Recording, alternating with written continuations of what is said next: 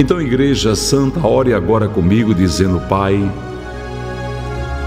em nome de Jesus Cristo, Deus, Paizinho, nós estamos aqui mais uma vez, em Teus pés, diante da Tua face, Deus, para pedir a direção deste culto no lar. A Deus eu sei eu sei, Deus, que o Senhor tem usado este culto no lar para levar conforto a muitos corações. Milhares de vidas são consoladas e alcançadas pelo poder da tua palavra através deste culto no lar, meu Pai. Mas, Deus, nós sabemos que é a tua direção neste culto que faz toda essa diferença que faz Deus teus filhos e filhas descansar em teus braços. Leva mais uma vez, Deus, este culto no lar, de encontro a esses corações. Corações que precisam ouvir a tua voz, corações que precisam ter o consolo do teu Santo Espírito, Pai. Usa, Deus, cada um que está aqui, Pai cada uma das nossas ovelhinhas, cordeirinhos, nossas moderadoras, moderadores. Usa, Deus, a minha pastora Ângela, todos que fazem este culto no lar, para que a tua palavra seja pregada, para que os conselhos sejam direcionados pelo teu Santo Espírito. Pai, eu te peço em nome de Jesus que todos que se achegarem a este culto sintam a tua presença. Ao ouvir as nossas vozes, ouça em nossas vozes a revelação do teu Santo Espírito. Nos dá, Deus, a graça da pregação da tua palavra. Nos dá, Deus, a palavra revelada, a palavra inspirada pelo teu Santo Espírito, a palavra de sabedoria. Oh Deus, que todos possam ser acolhidos aqui neste culto, Pai. Possam viver a tua presença, sentir a tua presença, se fortalecer na tua santa e soberana palavra. E eu peço, Pai, Deus, eu peço a tua recompensa para os teus filhos e filhas que têm mantido esta obra. Homens e mulheres de Deus que, ouvindo a voz do teu Santo Espírito, trazem seus dízimos e ofertas a esta obra, para que vidas possam ser alimentadas com alimento, Senhor, do dia a dia e o alimento espiritual. Graças a esses irmãos e irmãs que são chamados pelo Teu Santo Espírito para nos ajudar nesta obra, mais vidas são alcançadas, mais igrejas são abertas mais comida tem chegado à mesa do necessitado, à mesa da criança carente. Senhor, ao estômago, à barriga dos moradores de rua. E nós agradecemos, Deus. E pedimos o milagre da multiplicação. Pedimos que o Senhor honre, Senhor, poderosamente cada um dos teus filhos e filhas que nos ajudam. Pedimos, Pai, que o Senhor abençoe com longevidade e prosperidade Pedimos, Deus, que o Senhor atenda às petições dos que fazem votos e propósitos com a casa do Pai, com a igreja Pão da Vida, meu Deus. Ah, Pai, tem tantos pedindo oportunidade para ajudar, tantos pedindo um aumento da renda para ajudar. Abençoa-os, meu Deus. Abre as portas para abençoá-los e abençoa todos que oram todos que amam esta obra da Pão da Vida por saber que é uma obra que vem do teu coração, que é uma igreja que o Senhor levantou para fazer uma grande diferença na terra. Então, Deus, estende a tua mão santa e abençoa todos, no nome poderoso do Senhor Jesus Cristo. Todos que lhe ferem. Rádio Pão da Vida. Muito bem, amados queridos, hoje a palavra do culto do lado de hoje é 1 Timóteo capítulo 2, versículo de número 5. Essa palavra vem falar que existe só um mediador entre Deus e os homens. Pastor, o que é, quer dizer essa palavra mediador? Mediador é quem está no meio, é quem faz o meio do campo, é quem está entre você e Deus. E a palavra de Deus está dizendo que só Jesus Cristo é esse mediador. Então não adianta você falar com santo nenhum, não adianta você procurar outro mediador, porque ele não existe. A própria Bíblia está dizendo que existe só um, e o nome dele é Jesus. Ele é o mediador, é aquele que leva ao Pai as nossas súplicas, é aquele que ouve as nossas orações, é aquele que a palavra diz que o seu ouvido não está gravado, nem a sua mão está doente para que não possa nos socorrer. Nas lutas da vida, nas dificuldades da vida, nós precisamos buscar a Jesus Cristo. Ele entende. Ele entende o nosso coração, ele entende os nossos sofrimentos, os nossos anseios. Você sabia que da pandemia para cá, as pessoas estão sofrendo muito de ansiedade? É uma ansiedade muito grande, é uma falta de paz muito grande no coração. As pessoas já não têm mais o mesmo preparo que tinham antes. Qualquer coisa elas entram em pânico. Parece que um probleminha deste tamanho vira um vendaval de ventania na vida das pessoas, não é verdade?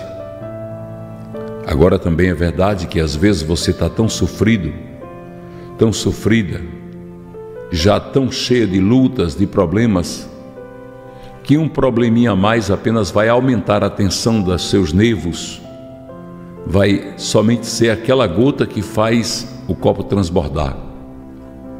Mas no meio de tudo isso não existe outra coisa a fazer a não ser descansar em Deus. Até porque Jesus Cristo disse assim: Você pode, com as suas preocupações, aumentar um côvado na sua estatura ou resolver os seus problemas? É claro que todos nós vamos dizer que não, Senhor, nós não podemos resolver. Nós não temos competência para resolver. Nós não sabemos, Pai, como fazer para resolver. E realmente não sabe mesmo não. Porque não existe ninguém que tenha capacidade para resolver as suas questões especialmente porque nas situações, nos problemas de saúde, nos problemas emocionais, você não tem competência para resolver, você não tem como resolver. E você vai se encontrar no completo vazio se tentar resolver. Então a melhor coisa a fazer é descansar nos braços de Deus mesmo. É buscar em Deus esse apoio que você precisa para que a carga fique menos pesada. Nós nos sobrecarregamos de muitas lutas, meus irmãos. É como se não bastasse as nossas lutas, a gente ainda tem as preocupações com a vida das pessoas que nós amamos. Nossos filhos, nossos familiares, nosso cônjuge, nossos irmãos em Cristo, até os amigos, são motivo de preocupação para todos nós. E hoje, nos consultórios médicos, nos gabinetes dos psicólogos, pessoas chorando. E o, quando o médico ou psicólogo pergunta qual é a razão de tanto desespero, a pessoa não sabe nem responder. É um conflito dentro. E exatamente esses conflitos eles entram porque encontra espaço vazio para entrar. Quando você está se alimentando da palavra, quando você está se alimentando de Deus, você fica mais forte. Você reage melhor às situações da vida. Se você pegar qualquer recipiente e encher de papel, só vai ter papel lá dentro. Então, quando você enche a sua vida de muitas lutas, de muitos problemas, vai ter só lutas, só problemas. Mas quando você enche a sua vida de paz, de busca de Deus, você vai descansar nesse Deus que tudo pode fazer por nós. Nós ficamos, às vezes, nos alimentando muito só dos problemas. E todas as vezes que chega uma notícia não agradável, ah, mais uma. E aquilo tudo vai acumulando e vai causando coisas difíceis para nós. Vão ficando pesado demais, um fardo muito pesado. Então, qualquer peso, qualquer notícia que chega de fora, é como se pesasse mil quilos. Por quê? Porque já estamos sobrecarregados, porque já estamos cansados. Então, qualquer situação se torna grave até um problema que você resolve com um telefonema parece um problema insolúvel. Não esqueça, alimente-se de Deus, porque olha, nunca na história houve tanta coisa para nos desviar de Deus. Muitos aplicativos, muitas redes sociais, muitos vídeos engraçados que é que adianta você ver meia hora de vídeo ficar sorrindo, achando graça? Mas ficar vazio. E quando o problema chega, você não tem condições de resolver porque está vazio. As pessoas hoje estão dizendo muito, eu não consigo nem orar. E na maioria das vezes não ora porque está vazio. Porque não tem o que dizer para Deus porque não está se esmerando na palavra, não está procurando Deus. Então, na hora que chega aquela dificuldade, você é impactado pelo problema e não consegue falar com Deus, até porque não está tendo intimidade, não está tendo uma relação sua com Deus. Ah, meus amados, nós precisamos dessa intimidade com Deus. Quando você está alimentado, você está forte. Experimente ficar um dia sem comer nada e vá carregar toda a roupa da sua casa. Vá tentar lavar muitas roupas, louças, para ver se você consegue. Você diz: Eu estou fraca, eu não consigo. Por quê? Porque não está com sais, minerais, vitaminas na sua corrente sanguínea, nos seus músculos, para lhe fortalecer, para fazer aquilo que você precisa fazer. Então você fraca, só quer estar sentada, deitada. Na vida espiritual, não é diferente, não. Quando você está alimentada pelo Espírito Santo, pela palavra de Deus, você está forte, os problemas que vão surgir podem ser grandes, mas vão parecer pequenos para você. Porque você está preparada para resolver, você está preparado, porque está alimentado. E a gente fica às vezes perdendo tempo comendo essas comidas contaminadas. Com muitas coisas que não nos interessam, não nos edifica, não soma nada. E o inimigo, o diabo, ele está usando essas coisas para desviar sua atenção, para tomar seu tempo. Para que o tempo vago que você tem, você não vá ouvir o que Deus tem a dizer, mas sim ver o que Ele está preparando para desviar sua atenção.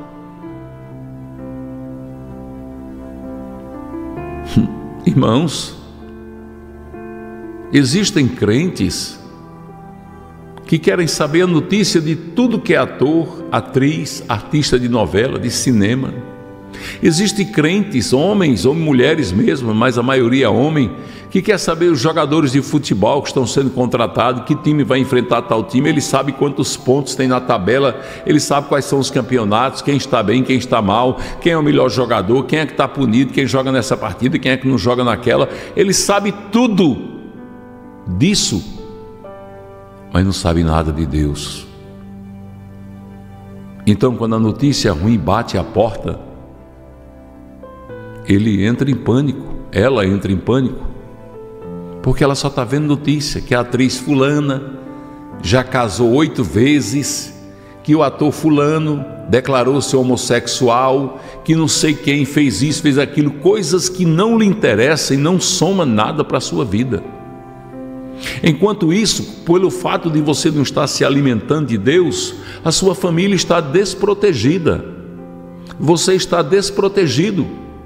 Você se torna uma presa fácil para o inimigo. Crente que não lê a Bíblia é um crente fraco. Crente que não ora é um crente que não tem contato com Deus, fica fraquinho, qualquer coisa derruba ele. Qualquer coisa afasta ele de Deus. Ser crente não é ir só à igreja, não. É viver a presença de Deus na sua vida, é desejar ver o mover do Espírito Santo na sua vida. Porque nós precisamos entender que a minha comunhão com Deus, ela tem que estar acima de qualquer outra coisa. O que é que a palavra de Deus diz em Efésios? Que nós devemos nos armar com as armas espirituais para resistirmos nos dias maus. Às vezes a porta se fecha, o emprego é perdido e a pessoa entra em parafuso. Tem deles que pensam até em tirar a própria vida. E muitas vezes é Deus fechando uma porta para abrir outra melhor. Mas você está tão cego porque não está se alimentando do que é de Deus que não vê o agir de Deus na sua vida.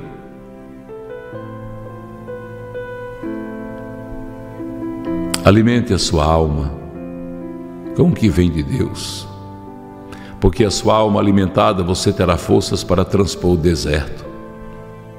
Alimente a sua alma com o que é de Deus, porque você sentirá a presença dele nesta caminhada da sua vida.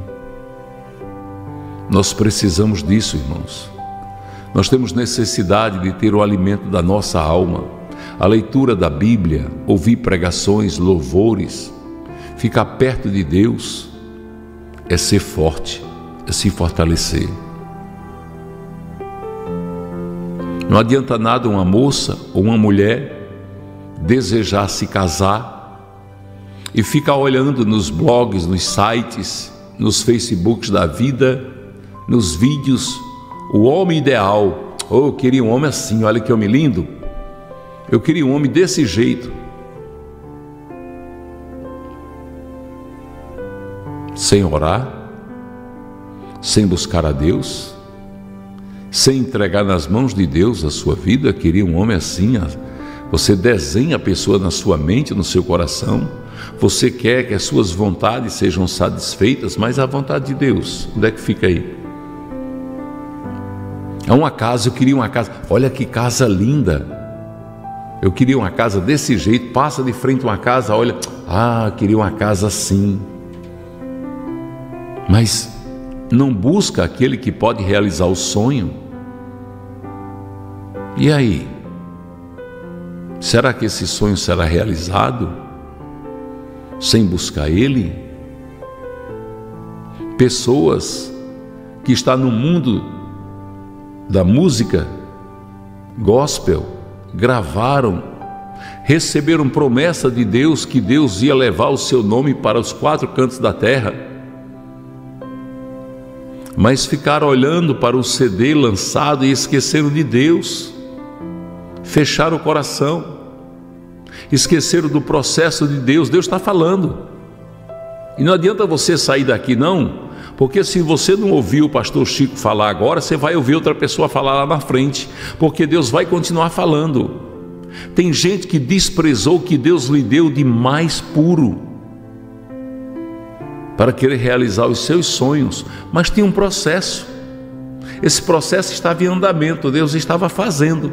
Só que você mesmo abandonou o processo, você virou as costas para o projeto de Deus e agora está sem entender nada.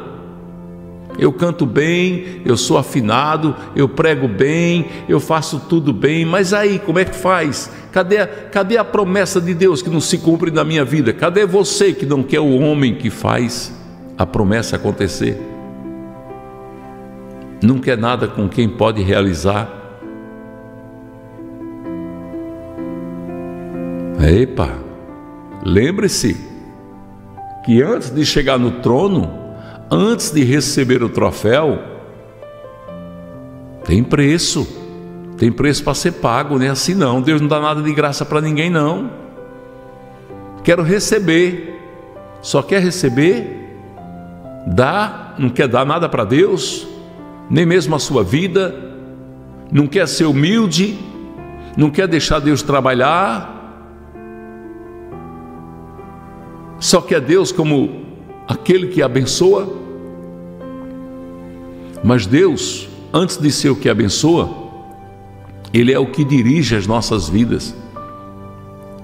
Então, se nós estamos na presença dEle, os nossos passos têm que ser direcionados por Ele. Escuta o que eu vou dizer, talvez se encaixe na sua vida. Muitas pessoas não teve as suas promessas já cumpridas porque saíram da posição, saíram do centro da vontade de Deus. Estava tudo caminhando bem, estava indo tudo bem. Estava tudo indo do jeito que Deus tinha imaginado e pensado e sonhado para a sua vida.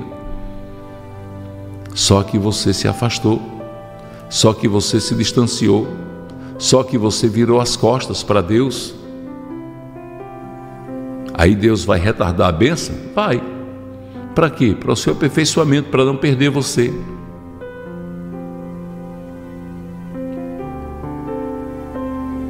Tem mulheres que têm um marido maravilhoso. Meu marido é uma benção. Vai para o bar vai para a farra, vão assistir filme pornográfico juntos, mas não ora junto. Mas não se arrepende dos seus pecados, mas não agradece a Deus pelo pão que é colocado na mesa, pela saúde para poder viver essas bênçãos dadas por Deus. E caminhando sem Deus, quem caminha com o diabo, cedo ou tarde, vai ver que ele é um péssimo companheiro. O diabo é um péssimo companheiro. Entenda isso, meu irmão. Deus está dizendo que o mediador entre ele e nós é Jesus Cristo. Só a Ele. Eu sou o caminho, a verdade e a vida, e ninguém vai ao Pai não ser por mim, disse Jesus. Só tem Ele. Não tem outro caminho, não há outro lugar, não há um atalho, não há nada disso. E tem pessoas até que não gostam de ouvir uma palavra dessa. Ela só quer ouvir vitória, mas só vive na derrota. Ela só quer ouvir bênção, mas só vive na maldição, porque não entende que aquilo que Deus tem para dar tem um preço a ser pago. E o preço é um sacrifício que nós temos que fazer para sermos merecedores daquilo que Deus tem para nossas vidas. Receba essa palavra no seu coração. Receba com amor. Receba com amor. A palavra de Deus diz que a palavra dele é para exortar, para direcionar, para nos encaminhar nos caminhos que Jesus quer que nós venhamos a andar. Estou no deserto, não vejo água. A tempestade de areia não posso enxergar. Não sei por que sofro assim deste jeito.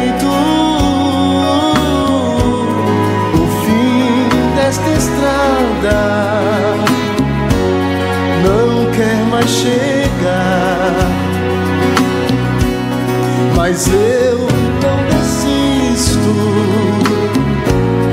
vou até o fim, mesmo sofrendo